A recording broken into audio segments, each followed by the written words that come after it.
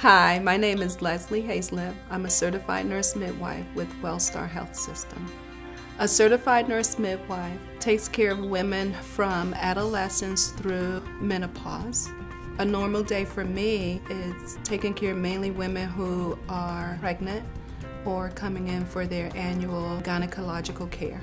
I work with four OBGYN physicians and one maternal fetal medicine doctor who specializes in high risk OB. We are there for the woman throughout her pregnancy, during her labor, and the follow up postpartum. Our goal is a healthy mom and a healthy baby.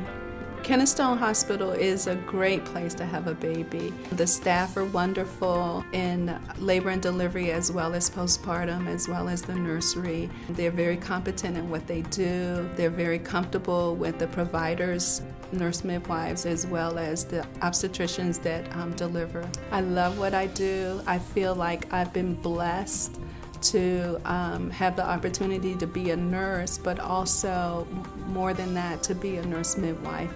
Every time I deliver a baby, I get excited about it. Seeing the happiness in the mother's face, just, you know, embracing their miracle baby, it just, it's a wonderful feeling, and I feel privileged to be a part of that.